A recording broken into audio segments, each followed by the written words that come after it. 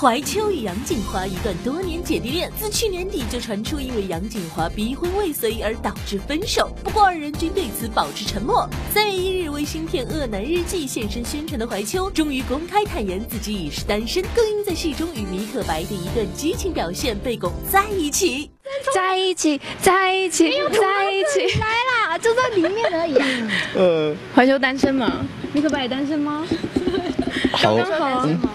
对啊，对啊，对啊，我们两个其实我们已经有互相电话了。锦华不会生气吗？他为什么要生气？对啊，他有大野狼，有米克白，没错，不错。拜拜，走。走。而现场的米可白一袭白色爆乳装，性感指数爆表，对于怀秋的激情戏更是念念不忘。先就是他先亲过来，之后先把压在墙壁，然后再压到另一个墙，然后再压到床上，这样 他有分分段这样。三组对对对对对，N 倒没有 NG 了。没，我们就是太激情了，因为导演叫我们激情的时候，我们那时候有点忘我了。